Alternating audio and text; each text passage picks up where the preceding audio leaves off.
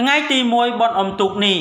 អភិបាលខេត្តកំពតសំណេះសំណាលជាមួយនឹងមន្ត្រីទាំងអស់ហើយស្នើសុំឲ្យមន្ត្រីបម្រើសេវាសាធារណៈជូនពលរដ្ឋប្រកបដោយចំណេះដឹងវិជ្ជាជីវៈគុណធម៌សុជីវធម៌និងការទទួលខុសត្រូវខ្ពស់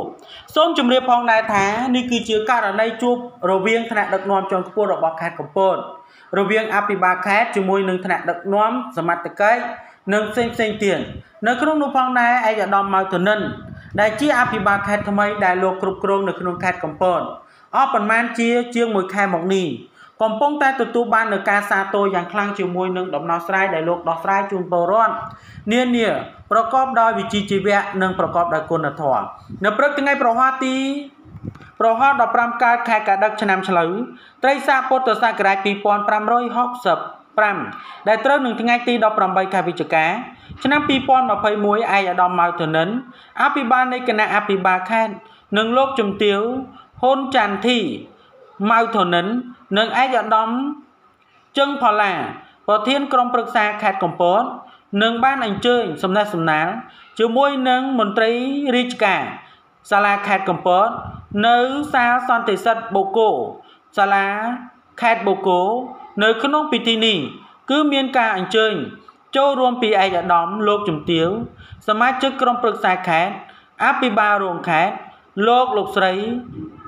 នាយកនិងលោកនាយករងរដ្ឋបាលសាលាខេត្តនិងលោកលោកស្រីនាយកនិងលោកនាយកទីចាត់ការ ប្រធាននិងអនុប្រធានអង្គភិបមន្ត្រីរាជការចំណុះសាលាខេត្តនិងមន្ត្រីជាប់កិច្ចសន្យាជាដើម។ លោកអភិបាលខេត្តកំពតក៏បានប្រាប់ទៅដល់មន្ត្រីទាំងអស់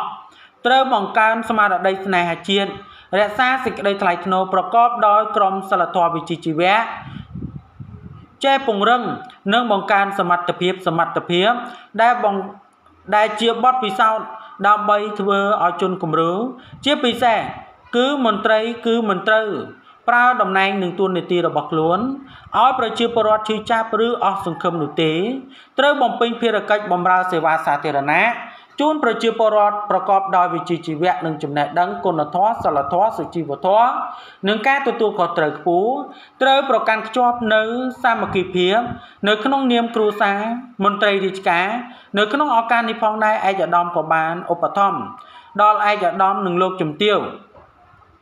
សមាជិកក្រុមប្រឹក្សាខេត្តអភិបាលរងខេត្តមន្ត្រីរាជការមន្ត្រីជាប់កិច្ចសន្យាទាំងអស់ដោយម្នាក់ម្នាក់ទទួលបានថវិកា50ម៉ឺនរៀលនិងអង្ករចំនួន50គីឡូក្រាមមីចំនួន1កេសនិងត្រីខមួយយួរផងដែរដោយចំណុចព័ត៌មាននេះមានប៉ុណ្ណឹងដើម្បីទទួលបាននូវព័ត៌មានថ្មីថ្មីបន្ថែមទៀតសូមមេត្តាជួយ Subscribe និង Like ខ្ញុំបាទសូមអរគុណនិងសូម